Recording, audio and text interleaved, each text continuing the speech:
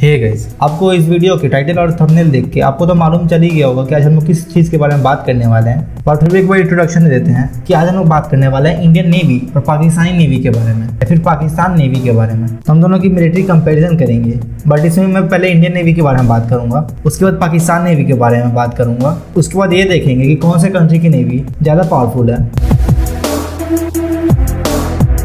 सबसे पहले बात करते हैं इंडियन नेवी के बारे में। सबसे पहले हम लोग इंडियन नेवी के बारे में हल्का फुल्का इंट्रोडक्शन के बारे में बात करेंगे। इंडियन नेवी कब फाउंड हुआ था, उसकी रोल क्या है, उस सब के बारे में पहले बात करेंगे, उसके बाद उसके इक्विपमेंट्स के बारे में बात करेंगे और उसके बाद पाकिस्तान नेवी के बारे में बात करेंगे। तो सबसे पहले बात करते हैं इंडियन नेवी है क्या? तो Indian navy Indian arm forces की एक नेवल ब्रांच है। तो नेवल ब्रांच है, फिर नेवल फोर्स वो फोर्स होती है, जो कि मेनली शिप्स और सबमरीन्स या फिर दूसरे वेपन्स और इक्विपमेंट्स के साथ सी और ओशन पे अपने ऑपरेशंस कंडक्ट करवाते हैं। और मेनली सी और ओशन पे इन लोगों का कंट्रोल होता है और वहीं पे लोग लड़ते हैं। और इंडियन नेवी के जो सुप्रीम कमांडर है, वो होते हैं प्रेसिडेंट ऑफ़ इंडिया जो कि अभी के टाइम पर रामनाथ कोविंद हैं और इसके बाद नेवी को एक फोर स्टार एडमिरल के द्वारा कमांड किया जाता है, जिनको कि चीफ ऑफ़ नेवल स्टाफ कहा जाता है। और अभी के टाइम पे इंडियन नेवी के चीफ ऑफ़ नेवल स्टाफ हैं admiral Karamvir Singh. Sixteen twelve में फाउंड किया गया था और ये उस time East India company's marine के नाम से जानी जाती थी। इसके बाद इसको चेंज करके रॉयल इंडियन नेवी बनाया गया और जब इंडिया इंडिपेंडेंट हुई, तब इसको इंडियन नेवी बना दिया गया। अब बात करते हैं इंडियन नेवी के पर्सनल्स, इक्विपमेंट्स और शिप्स के बारे में।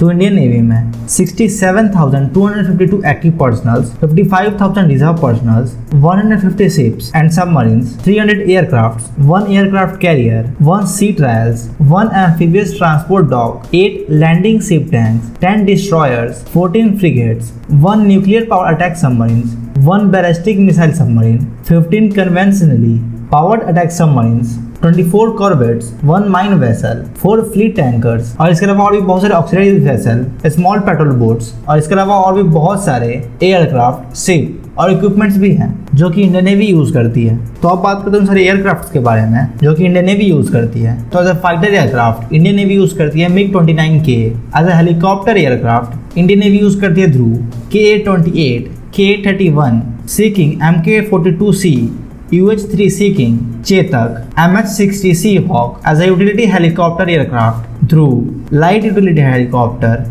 as a patrol aircraft, Boeing P-8 Lesson 238 और Dornier 228 और the trainer aircraft, BAE Hawk HALHJT 16 पिप्सेल वायरस मिग 29 के यू बी ये सारी एयरक्राफ्ट यूज़ करती है। और एक और बात है कि मार्कोस, यानी कि मरीन कमांडो फोर्स जो कि वर्ल्ड की सबसे बेस्ट या फिर मोस्ट पावरफुल स्पेशल फोर्स है, वो इंडियन नेवी की पार्ट है। और अगर आपको मार्कोस के बारे में या फिर टॉप टेन स्पेशल फोर्सेस के बारे में जानना है तो आप आई बटन पर जाकर देख सकते हैं। और अगर आपको इंडियन नेवी के इक्विपमेंट्स पे और शिप्स और एयरक्राफ्ट या फिर सबमरीन्स पे एक डेडिकेटेड वीडियो चाहिए तो आप कमेंट करके बता सकते हो। इंडियन नेवी के बारे में तो बात कर ली है, अब बात करते हैं पाकिस्तान नेवी के बारे में। सेम इंडिया की इंडिपेंडेंस के पहले, पाकिस्तान नेवी जैसा कोई भी चीज़ नहीं था, जो भी था वो इंडियन नेवी था, जो कि ब्रिटिशर्स के अंडर आता था। इसके बाद पाकिस्तान नेवी 14 अगस्त 1947 में इंडिपेंडेंस के बाद बनाई गई। और पाकिस्तान नेवी भी सेम इंडियन नेवी की तरह एक नेवल वॉरफेयर ब्रांच है, यहाँ की आर्म फोर्सेज की। यानी कि Pakistan navy Pakistan arm forces की एक नेवल वॉरफेयर ब्रांच है। और नेवल वॉरफेयर ब्रांच क्या होता है, वो आप लोगों को पता ही होगा। और ब्रिटिश इंडिया के पार्टीशन के बाद रॉयल इंडियन नेवी से इंडियन नेवी और पाकिस्तान नेवी दोनों में ही पार्टीशन हुए। और इसके बाद ये नेवी बनाई गई। और जैसा कि इंडियन नेवी था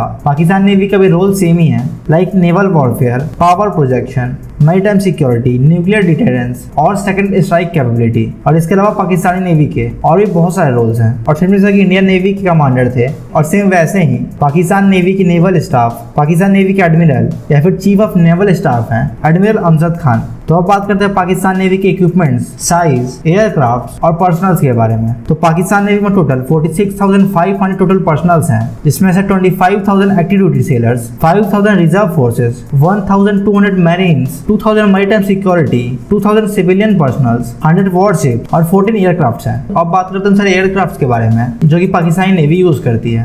तो पाकिस्तान नेवी हेलीकॉप्टर में Harbin Z nine Alouette three M I L M I fourteen Westland sea king as a patrol aircraft ATR 72 500 Fokker F27 2000 Lockheed P3C Orion Embraer 1000 as a transport aircraft ATR 72 500 और Fokker F27 2000 use करती है और इसके साथ ही आप यहाँ comparison list देखकर कौन से नेवी के पास ज़्यादा पर्सनल्स या ज़्यादा शिप्स या फिर ज़्यादा सबमरीन्स हैं और एक और बात, पाकिस्तान के पास एक भी एयरक्राफ्ट कैरियर नहीं है। तो यही था पाकिस्तान नेवी और इंडियन नेवी के बारे में कंपैरिजन तो आज के लिए बस इतना ही। अगर आपको वीडियो पसंद आई हो तो इस वीडियो को लाइक कर देना कमेंट कर देना शेयर कर देना। और हाँ हमारे चैनल को सब्सक्राइब करके बेल आइकन भी दबा देना।